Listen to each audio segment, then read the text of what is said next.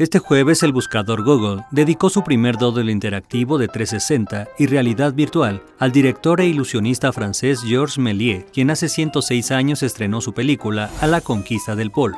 En su página principal, la compañía de Mountain View creó un video de la película Viaje a la Luna en colaboración con los equipos de Google Spotlight Stories, Google Art and Culture y de la Cinemateca Francesa.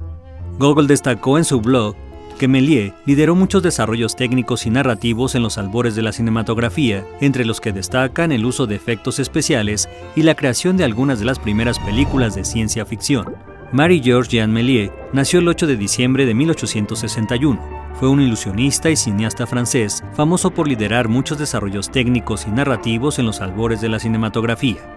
Méliès popularizó técnicas como el truco de parar y fue uno de los primeros cineastas en utilizar exposiciones múltiples, la cámara rápida, las disoluciones de imágenes y la película en colores. La compañía invitó a descargar la aplicación Google Spotlight Story de Google Play o del App Store y disfrutar del Doodle de Google a través de una experiencia de realidad virtual en el teléfono, en Cardboard o en Daydream.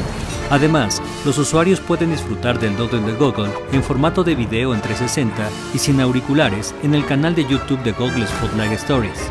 Notimex.